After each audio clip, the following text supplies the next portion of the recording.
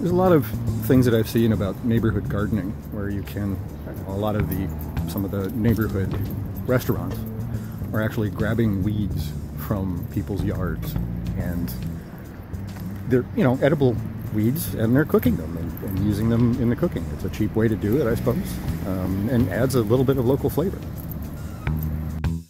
You know, it's a little known fact, these, uh, these beautiful irises, the, um, the leaves from these these long spiky leaves are actually really good onion substitutes, or actually leek substitutes. They're a little milder than onions and have a slightly bitter flavor, but um, otherwise they're pretty good. These are actually lily of the valley. Uh, they'll have flowers come out and they'll be, there's these nice gorgeous flowers. These you have to watch out for, you have to get them at the right time and you have to cook them very thoroughly. Doing neighborhood gardening is, is one of my sort of side hobbies. a lot of a lot of traffic around today. The dogs barking and all that fun stuff. But you can tell this is live in the neighborhood. Um, a lot of people around here plant various sort of wild plants. And some, like in my backyard, I've got a number of weeds and I just kind of let them grow. And I'll have to show you some of those in a minute. Okay, so out walking the dog and I come across these mushrooms. And I'm thinking that I need to make some mushroom soup. So we're gonna grab some of these.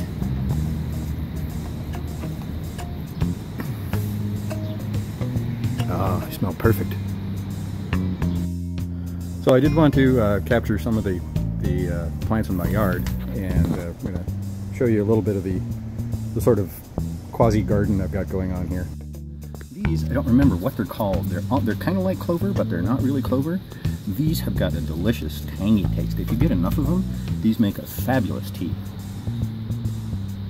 Here's some of my little tender iris shoots. grab one of these.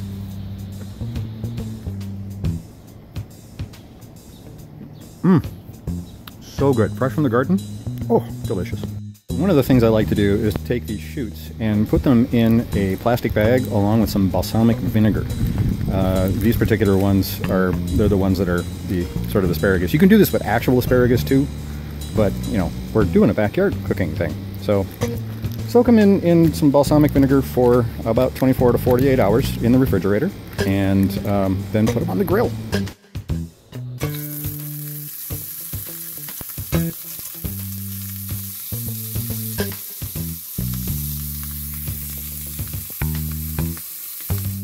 Uh, sometimes your grill can get a little smoky. Um, the, but these are just about perfectly done. The burgers are just regular burgers. Perfectly seared.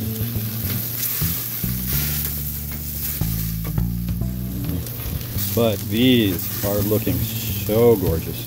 Oh my goodness. Oh my goodness, they look so good.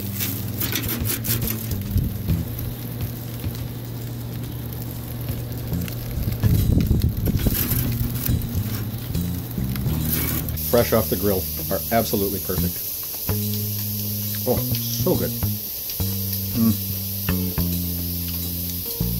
Marinating them in the balsamic takes away any bitterness that is normally in the plant itself. Just fantastic. Oh, the taste is amazing.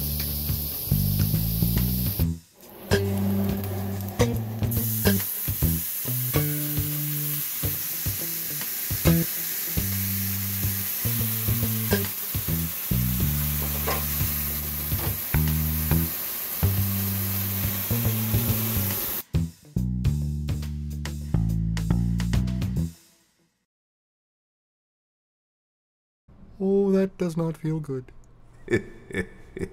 Not your best idea, eh, Sparky?